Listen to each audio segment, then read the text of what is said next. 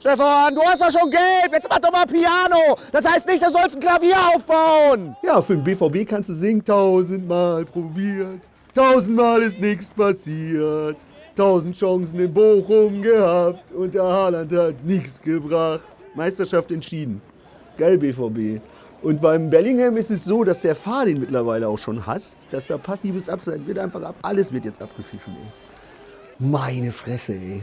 Da steht an der Seitenlinie Alexander Zickler. Ich gedacht, wer ist das denn? Weil der Rose ja gesperrt, den kenne ich noch. Den Zickler kenne ich aus dem Panini-Album vom 92, 93, da war der noch Stürmer bei Bayern. Ja, Mann. Hast du wieder Kekse gebacken? Ja?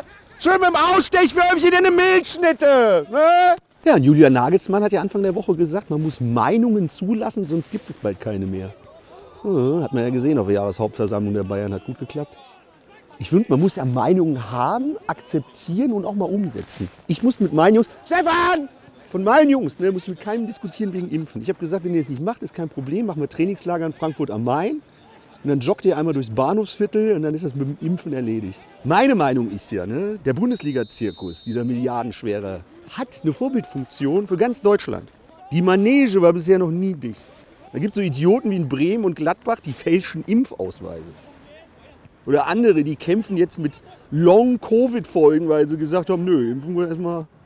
Ich meine, ich will ja, dass der Kimmich auch irgendwie wieder gesund wird. Ne? Irgendwann wird das, aber das wird jetzt erstmal eng.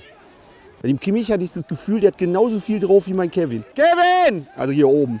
Den Kimmich setzen sie demnächst auch an der Allianz Arena einen Ticketschalter. Dann verkauft der Tickets für Geisterspiele, gibt aber 20% drauf, weil er ja selbst mit dran schuld ist, dass die stattfinden. Patrick, willst du mal meinen Ratgeber lesen? Aber wie der heißt? Reiß dich mal zusammen, du Lappen! Männer, die meisten Blindgänger, ne, die schlummern nicht im Boden. Die meisten Blindgänger, die laufen hier bei mir auf dem Platz rum. Und bei Gladbach, da sind die Fohlen momentan noch nicht mal geeignet zum Ponyreiten. 14 Gegentreffer in drei Spielen. Da hast du den Sommer im Tor, merkst aber, oh, Kacke, ist Dezember, Winter is coming. Der Eberl sucht sich schon wieder einen ruhigen Platz in den Bergen. Kleiner Tipp, Eberl, wenn du einen ruhigen Platz suchst, die haben jetzt so eine Hütte auf dem Mount Everest. Kannst du chillen ohne Sauerstoff. Da hast du nach vier Minuten noch genauso viel Luft wie deine Jungs auf dem Platz. Ja? Und am Mittwoch kommt Frankfurt nach Gladbach. Geil. Dann heißt es statt Adi Hütter, Ade Hütter.